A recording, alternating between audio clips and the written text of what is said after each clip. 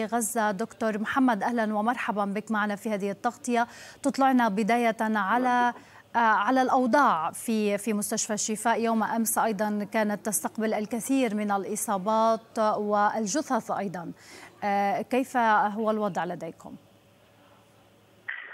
يعني ما زال الوضع خطير وحرج جدا. ما زالت الإصابات والشهداء تأتي إلى المستشفى تباعا. يعني في كل ثانية وفي كل دقيقة نستقبل شهداء وجرحى.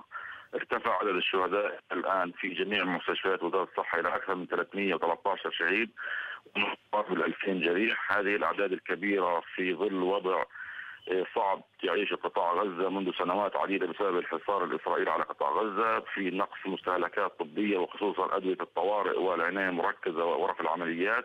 هناك نقص كبير في هذه المستهلكات والأدوية. وأيضا الاحتلال حكم على أبناء قطاع غزة كلهم بالموت بسبب قطع الكهرباء عن قطاع غزة. الآن في مجمع الشفاء الطبي والمجمع الأكبر نقوم بتشغيل المولدات الكهربائية لتشغيل محطة غرف العناية المركزة التي يوجد بها أكثر من 100 حالة حرجة. وهناك أيضا يعني هناك بدائل تستطيعون من خلالها دكتور يعني توفير الطاقة الكهربائية؟ نعم لكن هذه البدائل لا تكفي إلى أيام معدودة. بالكف يعني بالكاد تكفي لثلاثه واربعه أيام على حد أقصى. البدائل متوفره لدينا لأن الولدات تستهلك وقود كبير جدا. أكثر من خمسين ألف لتر وقود يوميا يستهلكها هذا المجمع بسبب كبره وضخامته. يعني لا يمكن أكثر من أربعة أيام ستطفأ المستشفيات وست يعني وستكون تحل كارثة حقيقية على جميع المرضى في المستشفيات. ستحل الكارثة على العناية المركزة وبها الحالات التي تشبك على أجهزة التنفس الاصطناعي. وأيضا الخدج في الحضانات الأطفال. وأيضا الأكسجين ستتوقف. وأيضا ستتوقف ماكينات غسيل الكلى لمرضى الفشل الكلوي. نحن أمام كارثة حقيقية إذا لم يتم يعني إمداد المستشفيات بالوقود اللازم لتشغيل هذه المستشفيات ستصبح المستشفيات عبارة عن مقابر لجميع الذين يسكنون فيها.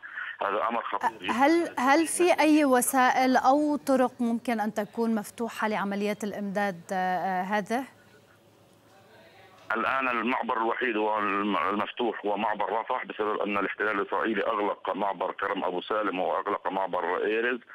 المعبر الوحيد الذي مفتوح لدينا هو معبر رفح البري المربوط بجمهورية مصر العربية. لذا نناشد جميع العالم ونناشد الدول العربية وخصوصا الاخوه في مصر الشقيقة بإمدادنا بالمستشفيات الميدانية والأطباء والمستهلكات الطبية حتى والوقود حتى نستطيع تقديم الخدمة لأن الأعداد كبيرة وكبيرة جدا في أقل من 24 ساعة.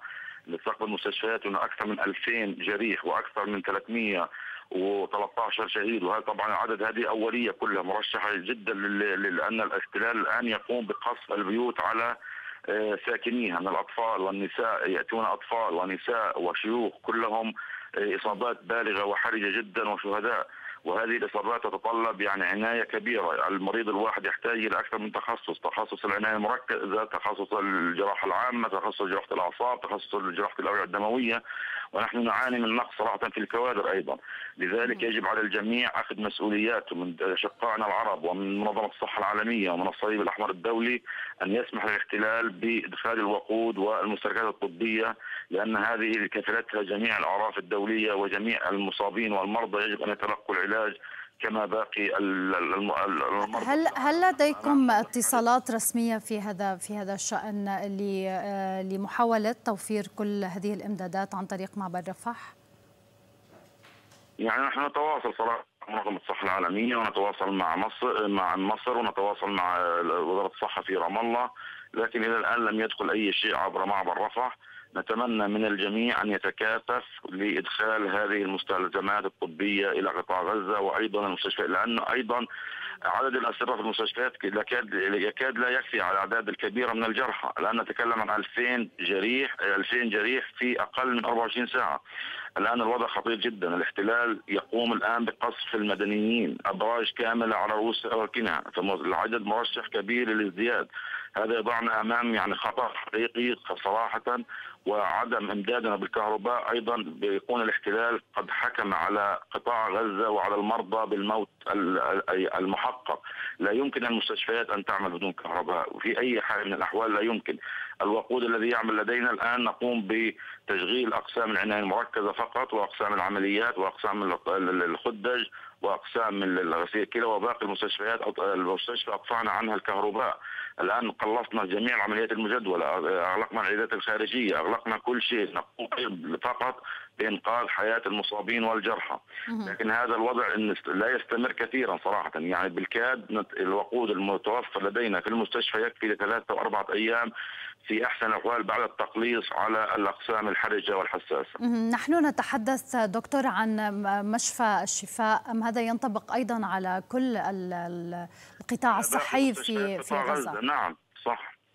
بالتأكيد هذا ينطبق على جميع مستشفيات قطاع غزة ليس على مستشفى الشفاء وحده.